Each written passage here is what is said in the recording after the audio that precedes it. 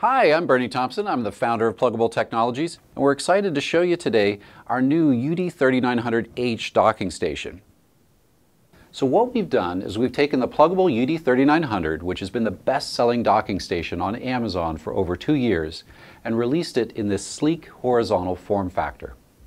The compatibility for this dock is with Windows and Chrome OS. For Mac, you're going to want a different set of docking solutions and we'll provide links to those in the description. But if you've got any Windows laptop or any Chrome OS uh, laptop or tablet, you can do a setup exactly like this. So one of the great things about laptops is they've been getting thinner and lighter, so they're easier for you to carry. The downside of that is you've been losing ports. Uh, laptops used to have a lot more USB ports. Laptops used to have a lot more ports to connect in things like extra monitors. Well, a docking station like this is exactly how you get all of that connectivity back. We also have added additional items that don't come with other docks.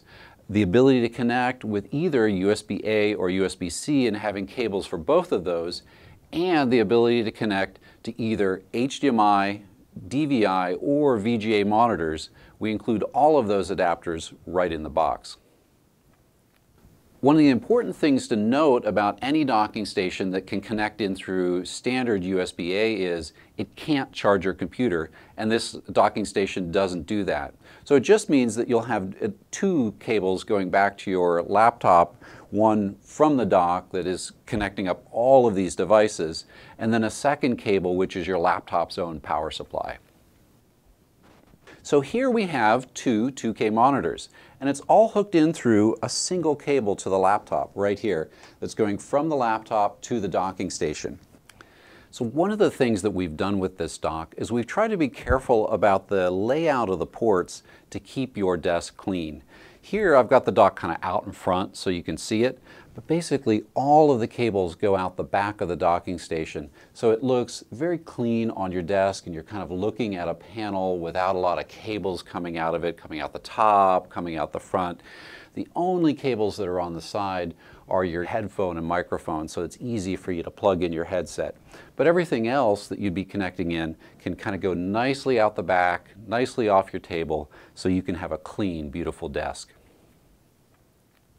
So how is this working? How are we able to, through just a single USB cable, get two extra monitors in addition to whatever your Windows laptop or your Chromebook can already do? Well, the way this works is it's transferring only the pixels that are changing on these two screens over the USB cable to the docking station. And then the docking station is refreshing both of these monitors.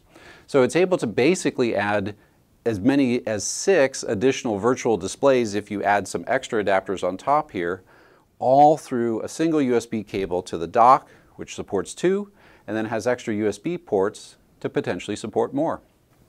This sort of multi-monitor setup is really a huge productivity booster and great for any information worker.